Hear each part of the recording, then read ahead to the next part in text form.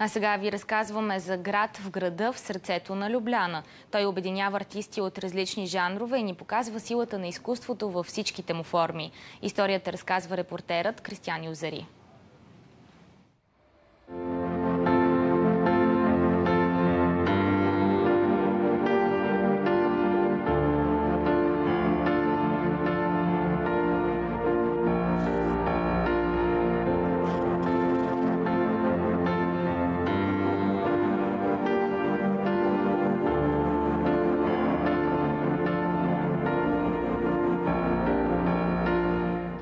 Днес изрисуваните с шарени графити сгради в квартал Метелкова някога са били политически затвор и военни поделения. След разпадането на Югославия мястото е изоставено и постепенно десетки артисти от словенската столица го припознават като пространство, на което да творят. Можете да си представите изоставени сгради на бивш затвор и военни поделения. Градските власти често прекъсвали електрозахранването и водоснабдяването в квартала, за да принудят хората да напуснат. Вече беше решено, че мястото ще се използва за изкуство. По-късно обаче общината прецени, че иска тук да се построи бизнес център. От една страна имаш общност, която просто иска да прави изкуство. От друга страна стои градската управа, която по това време се опитва да извлече печалба от мястото. През 93-та година в Метелкова пристига тежка техника, за да разруши квартала. Над 200 души образуват жива верига с телата си, противопоставяйки се на намерението на общината. Скулпторът Бостян Новак е един от първите жители на Метелкова и така вече повече от 30 години. Пристига на 10-я ден от протестите срещу разрушаването на квартала. Дойдоха посред нощ с тежка техника и започнаха да събарят. Ние протестирахме срещу това. Ателието на Бостян се намира в една от многото шарени сгради в Метелкова. Там той създава своето изкуство, вдъхновено от света, който го заобикаля. По какво работите в момента? Опитвам се да представя съвременното поколение, което е изцяло погълнато от дигиталния свят.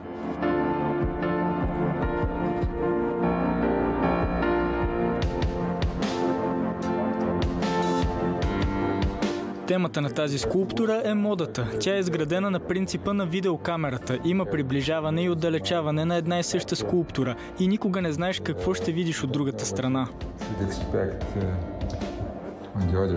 Освен ателието на Бостиан, в Метелкова има барове с различни стилове музика, гей клуб, работилница за велосипеди и площад, обособил се като място за срещи и социализация.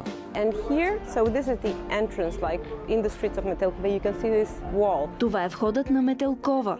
Тук има табела с правилата, които хората трябва да спазват докато са тук. Това не е място за какъвто и да е вид дискриминация. Не толерираме насилието. А това тук обичаме да казваме, че е най-малката дискотека в света. За тази врата има място само за диджея. Хората са отпред и танцуват на улицата.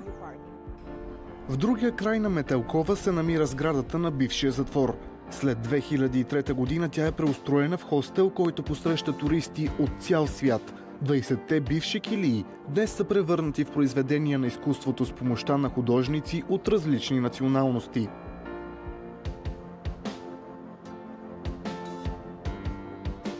Някога това е било политически затвор. През 1988 година тук е бил интерниран нашия бивш министър-председател Янес Янша за това, че е написал антиюгославски памфлет.